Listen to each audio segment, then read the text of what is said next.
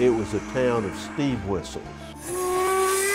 And also, it was a town of smoke. They were Carolina textile towns until the mills closed down. Now they're transforming into something new.